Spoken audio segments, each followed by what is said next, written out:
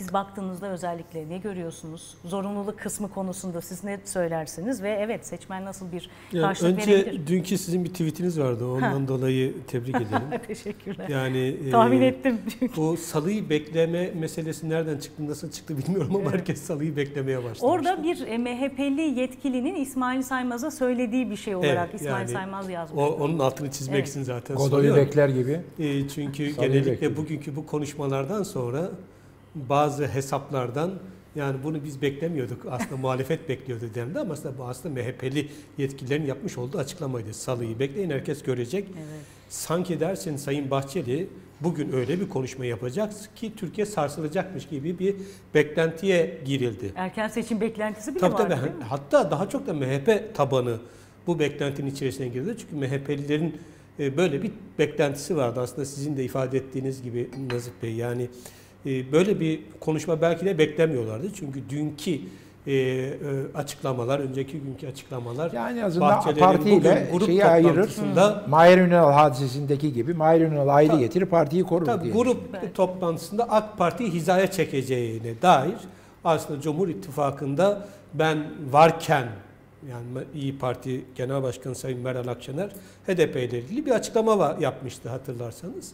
Zannediyorum Bahçeli'den de beklenti buydu ben varken diyecek ve ona göre belki bir şey yapacaktı ama e, sizin tweetinizde siz o beklenti içerisinde değildiniz. Ben de değildim doğrusunu söylerseniz. E, hatta dün bir televizyon programına katıldım da ben bugün konuşmayacağım, yarını duymam lazım demiştim. Çünkü şeyim yoktur. Yani e, o dünkü, önceki günkü oluşan iklimle Sayın Bahçeli'nin vereceği cevap bence dün akşamdan ciddi anlamda iki siyasi parti arasında gelgitlere, telefon görüşmelerine vesaire sebep olmuştur diye düşünüyorum. Çünkü bu e, salı günü bekleyin e, açıklaması MHP'den gelince ister istemez ben zannediyorum bir takım görüşmeler olmuştur. AK Parti ile. AK Parti ile Cumhur İttifakı arasında, AK Parti ve MHP arasında ve böylesine uygun bir konuşma, gerçekten uygun Bu bana neyi anımsattı biliyor musunuz? Daha öncesinde bir MHP'nin kurultayı olduğu gün, onun öncesinde yine benzeri bir e, itilaf dur ihtilaf durumu vardı E, ve bir e, e, konuşmanın değiştirildiği, o gece değiştirildiği hatta çok konuşulmuştu hatırlarsanız. Ben, MHP liderinin ben dün sözleri. gecede, dünkü e, belki mesainin de bu şekilde yürümüş olacağını tahmin ediyorum. Yani çünkü e, salıyı bekleyin açıklamasını e, bir MHP'li milletvekilinin yapmış olması aslında hem kamuoyunda büyük bir beklentiye neden oldu hem de AK Parti'ye bir mesajdı. Nihayetinde demek ki belli bir süreç vardı ve bu süreçle ilgili de Milliyetçi Hareket Partisi e, bir e, başka pazarlık konusu ya da görüşme konusu istedi. E, Ben e, hani şey dediniz ya tercih midir, zorunluluk mudur? Ben de bunu bir zorunluluk olarak görüyorum. Adalet- Evet, Cumhur Bahçeli İttifakı- pazarlık yapmaz bunları yani. Öyle bir şey var. Cum- onu teslim etmem Cum- lazım. Cumhur İttifakı seçimi kazanacağına dair ümitleri büyüyor olsaydı zannediyorum böyle bir sürece girmezdi.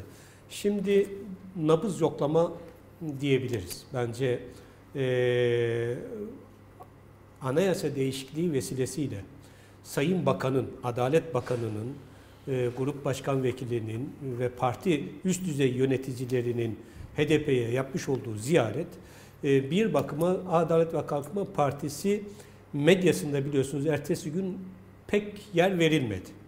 E, sosyal medya hesapları, troll hesaplar ya da fenomen hesaplar bu konulara hiç girmedi.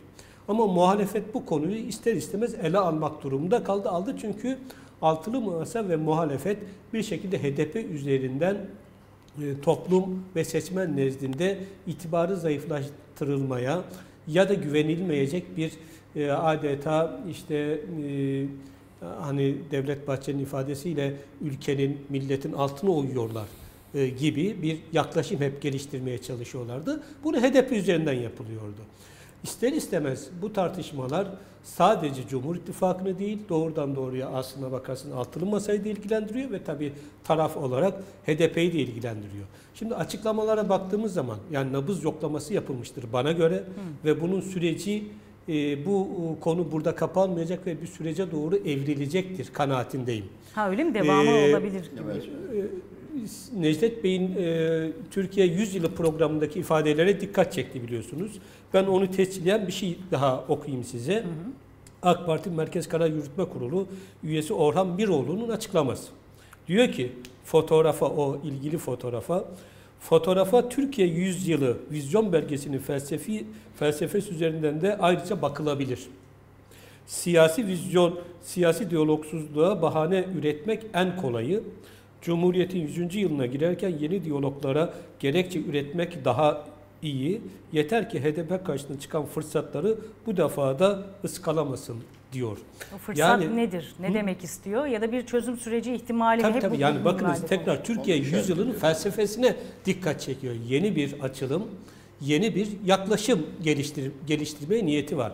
Öbür taraftan Milliyetçi Hareket Partisi'ndeki tavır Sayın Bahçeli'nin bugün meclis grubunda yapacağı konuşmayla şekillenecekti. Ama Adalet ve Kalkınma Partisi'ndeki taban ve tavır da önemliydi. Baktım mesela İç Anadolu bölgesinden, Karadeniz bölgesinden, Ege bölgesinden, işte Doğu Anadolu bölgesinden, Marmara bölgesinden milletvekilleri ya da parti sözcüleri hiç konuşmadılar. Açıklamaları hep Güneydoğu e, milletvekilleri ya da eski milletvekilleri yaptı. Mesela e, AK Parti'nin biliyorsunuz önemli isimlerinden birisidir e, Mehmet Metiner ve eski HDP'lidir bu Evet, anlamda evet. yani orada da siyaset yapmış, genel başkan yardımcılığı yapmış. Fakat altılı masayı özellikle de Saadet Partisi'ni HDP üzerinden en çok eleştiren milletvekillerinden birisidir. Eski milletvekillerinden. Diyor ki AK Parti karar vermeli. HDP'yi kendisiyle oturup konuşulacak ve desteği önemsenecek bir parti olarak görüyorsa o vakit HDP'ye dair dilini ve yaklaşımını değiştirmeli. PKK'nın siyasi uzantısı ve kapatılması gereken bir parti ise onlarla niye a- a- Niye görüşüyoruz? anayasayı konuşuyoruz diye de Şamil Tayyar başka bir destek Evet, veriyor. evet. Yine bunları çoğaltabiliriz. Mesela AK Parti Şanlıurfa Milletvekili Ali Cevher'in de HDP'ye gitmek değil, gitmemek abestir. Kanunlara göre kurulmuş legal bir parti Evet. diyor. Şimdi bunlar hep bu nabız yoklamaları çerçevesinde zannediyorum 3-5 gün böyle gitti. Sayın Bahçeli bu açıklamasıyla birlikte yine Sayın Erdoğan'ın ve AK Parti'nin doğru olanı yaptığını ve bu e, süreci onayladığını kendi tabanına, kendi parti kadrolarına ve e, MHP'ye geçmişte oy vermiş sosyolojik tabanına bir seslenişte bulundu. Bunu AK Parti yapıyorsa, Erdoğan yapıyorsa, Cumhur e, İttifakı yapıyorsa bu iyidir, doğrudur, mübahtır, Meşrudur. caizdir.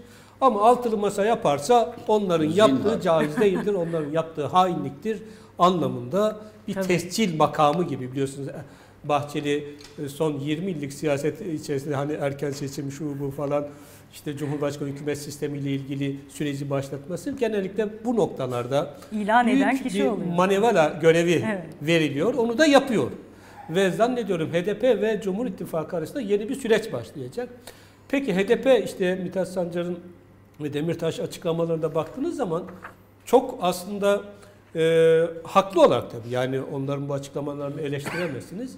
Haklı olarak aslında bu işin çok olabilir olduğunu dikkat çekiyor ve muhalefete de aslında işte e, e, Eleştiriyor. e, şey ne- nasıl? Muhalefeti de Tabii muhalefetin de tavrını biraz eleştirdi. Evet, iktidarın Birbirinize asıl destekçileri- etmeyin, AK Parti'yi eleştirelim derken bizi de suçlamayın. Söyleyeyim iktidarın asıl destekçileri onun varlığını sürdürmesine yardımcı olanlar temel konularda onun çizdiği oyun sahasından ayrılmayanlardır diyor mesela. Biraz da böyle bir dokunduruyor. Yani şöyle bir toparlayacak olursam cidden çok güçlü bir siyasal iletişim süreci yürüdü. Evet. Bu tesadüflerle olan bir şey değil. Bir defa HDP grup başkanlığını ziyaret eden isimlerin heyetin başında Sayın Adalet Bakanı'nın olması çok anlamlıdır. Çünkü HDP'nin Türkiye'deki sorunu şu an hukuki meşruiyet sorunudur. Ee, yani hukuken bir meşruiyet yok ama iki tane dava var. Bir, Genel Başkan Demirtaş içeride. Tabii. Onun bir süreci var. Askıda tutulan bir süreci var. İki, HDP ile ilgili bir kapatma davası açılmış. Bu süreçte uzuyor ve askıda tutulan bir süreç var.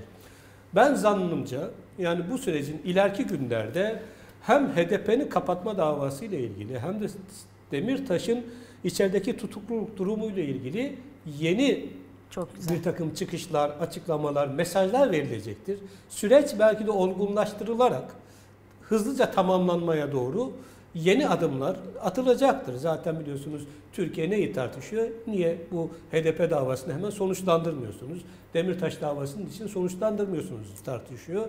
Sayın Adalet Bakanı'nın da e, bu heyetin başında yer alması zannediyorum orada sadece aile ve başörtüsü konusu tartışılmamıştır, konuşulmamıştır. Peki HDP'yi kapatmak için Anayasa Mahkemesi'ne başvuranlar anayasa değişikliği için o HDP'ye gidiyorlar. Bunu nasıl izah edebilirler? Oksimoron yani? bu Çok tabii, enter- öyle Efendim? Sosyal Oksimoron bu medyada dolaşan en güzel şey bu. Caizdir yani bakın. Evet, Caiz. Cumhur İttifakı Tamam, ne yaparsa evet. caizdir. Hiç bunu tartışamazsınız. Ha. Bu Mehmet Bey'e şöyle yukarıdan vahiyle inmiş bir e, hüküm gibi bir şey yani. Gerçekten. Ayıp ediyorsunuz. Mehmet Bey